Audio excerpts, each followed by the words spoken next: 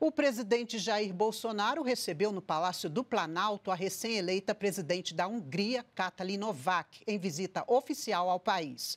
Os dois trataram de comércio bilateral, que inclui a venda de cargueiros militares da Embraer para o país do leste europeu. Essa é a primeira viagem de Katalin Novak a um país fora da Europa desde que assumiu a presidência da Hungria, em maio deste ano.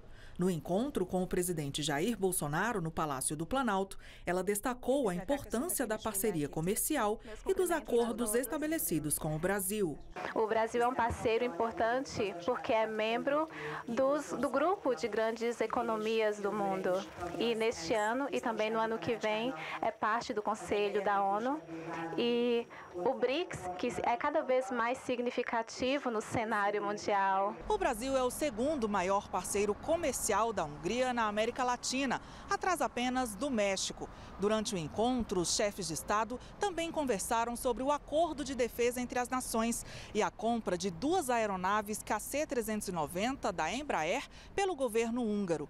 O presidente Jair Bolsonaro agradeceu o apoio da Hungria para o acordo Mercosul-União Europeia e para a entrada do Brasil na Organização Econômica OCDE e ressaltou o esforço conjunto pelo fim da guerra entre Rússia e Ucrânia, país vizinho à Hungria.